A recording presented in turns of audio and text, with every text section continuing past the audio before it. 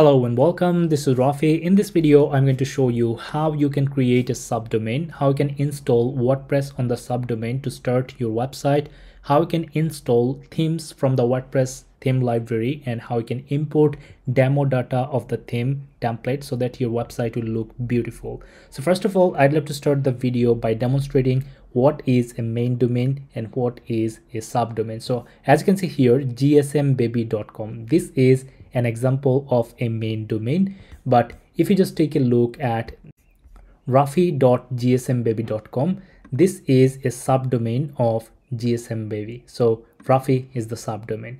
So many websites you are going to see, for instance, let's say upwork.com, fiverr.com, these are main domains, but they have help.upwork.com, support.fiverr.com, these are subdomains. So subdomains are being used for different purposes on different websites.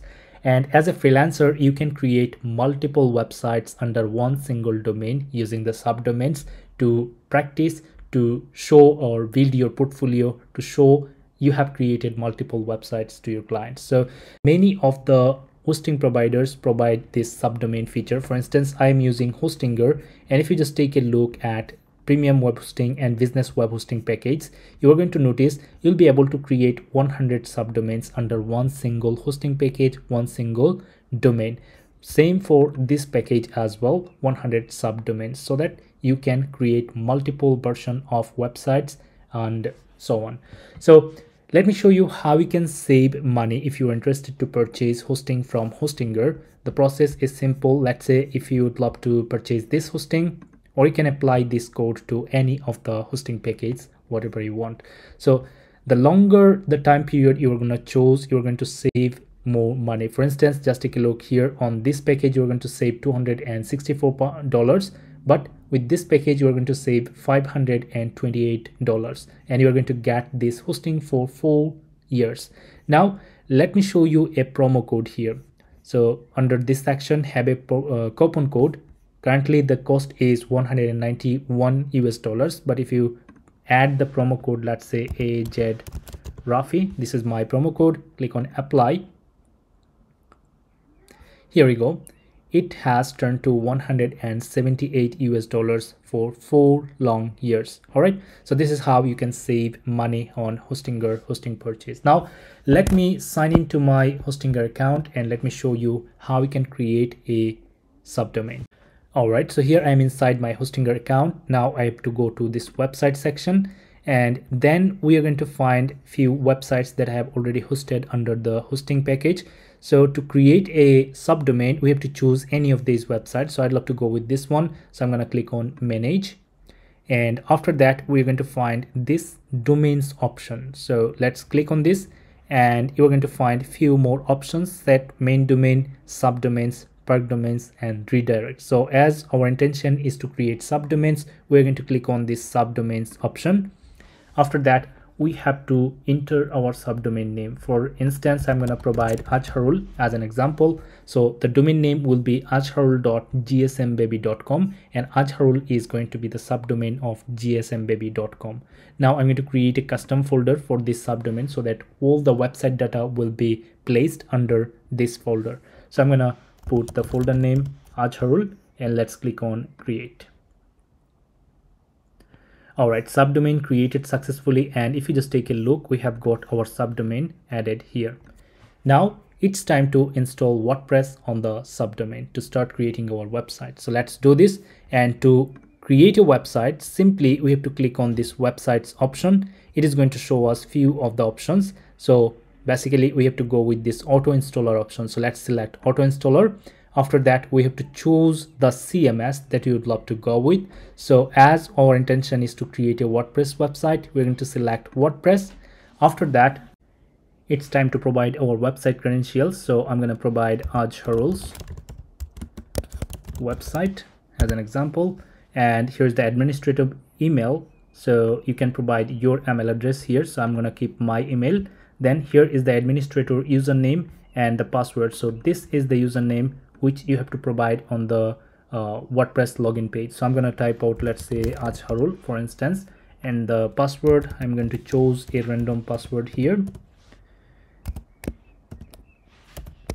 all right after that you have to click on this advanced option so that you can choose the subdomain installation path. So here I'm going to choose the subdomain installation path to azharul.gsmbaby.com and make sure you are not entering any information here in this subdirectory option. All right.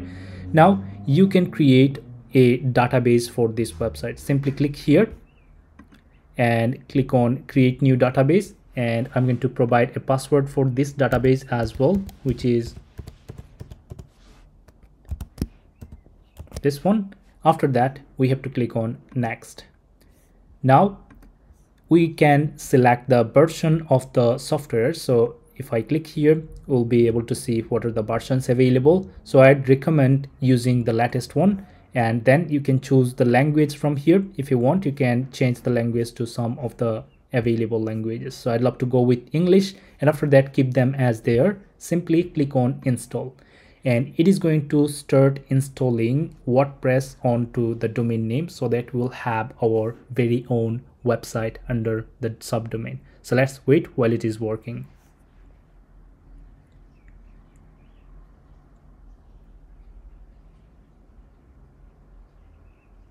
all right so our website has been created and as you can see we have got an ssl certificate added on the website as well which is really fantastic. And we have got the forced https the secured version enabled as well.